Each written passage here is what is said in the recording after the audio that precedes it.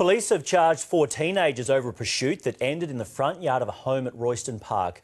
The chase left a trail of destruction through Adelaide's eastern suburbs, but luckily no one was injured.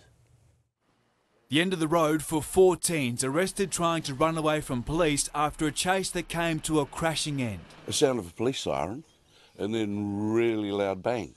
The car slamming into the front gate and fence of Roy Rowe's home.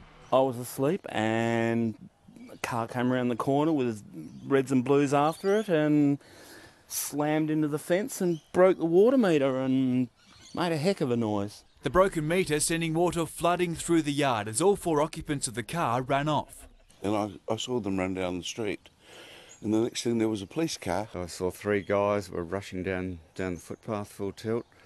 Uh, policemen running in behind them. Patrols cordoned off the area and quickly caught the youths. The pursuit started on Payneham Road after the vehicle allegedly sped away from police who tried to make a routine traffic stop just before 1.30 this morning.